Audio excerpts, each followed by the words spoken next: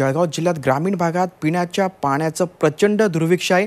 पाणी टंचाईनं विहिरीवर पाणी भरण्यासाठी गेलेल्या बहात्तर वर्षीय वृद्धेचा बळी घेतलाय. या महिलेचा विहिरीतून पाणी काढताना तोल जाऊन दुर्दैवी मृत्यू झाला.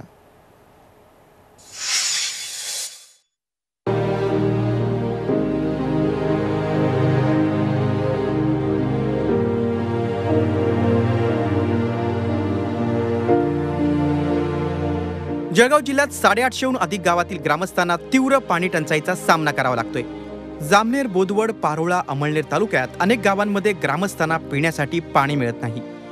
पिण्याच्या पाण्याच्या शोधात गेलेल्या जामनेर तालुक्यातील शेंगोळा या गावातील बहात्तर वर्षीय नर्मदा आढाव या वृद्धेला तर पाण्यासाठी आपला प्राण गमवावा लागला.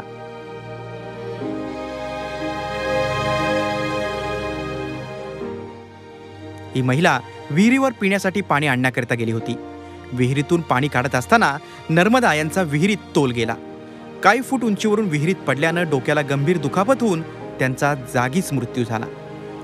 शेंगोळा गाव सध्या भीषण पाणी टंचाईला सामोरं जात आहे गेले कित्येक दिवस गावातील नळांना पाणी येत नसल्यानं महिलांना गावाबाहेरील विहिरीवरून पाणी भरावं लागतंय.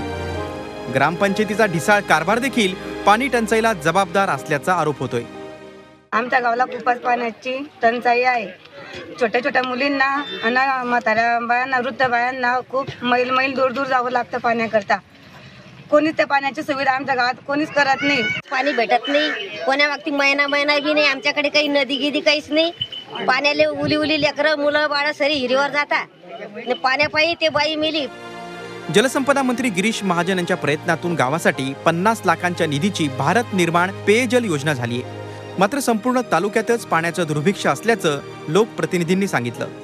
मंत्री महोदय गिरीश महाजन यांनी आम्हाला माझ्या कारकिर्दीतच पन्नास लाख एकावन्न लाखाची भारत निर्माण योजना दिली होती.